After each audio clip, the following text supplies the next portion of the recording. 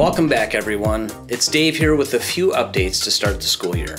If you are big on scanning documents, a new feature is available that allows you to scan files directly into your Google Drive. First, scan your card on the Ricoh copier, then press Scan. Now you get a choice to scan to email or to Google Drive. Pick Google Drive. Handle your scan as normal, then remember to log out. On your computer, look for the initial authorization email and follow the prompts. This initial email only shows up once. A follow-up email will appear that lets you go to your scan. You will also notice that in your Google Drive, a folder is created where all of your PaperCut scans are stored. From here, you can collaborate, share it with others, and help save paper down the road. Next, we have an important update regarding student passwords. Today will be the day we reset student passwords back to the default format of a capital C and L, and the date of birth in the format shown here. So teachers, please keep this format handy. A document is attached in this video so you can have it as a reference guide when guiding students through the login process.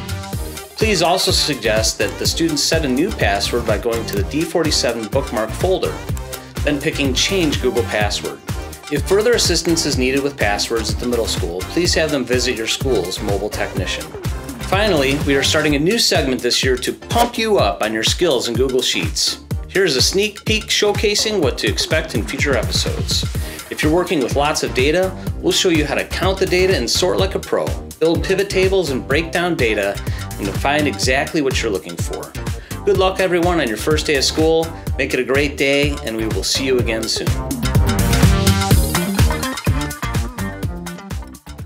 Get in the zone. Welcome back, everyone. It's Dave here with. Are you serious? The first sentence? I can't even get that. Welcome back, everyone. It's Dave here with a few updates to start. I am not ready. Finally, we're starting a new segment this year to pump you up on your good. Too excited. Can I move closer so I don't see this?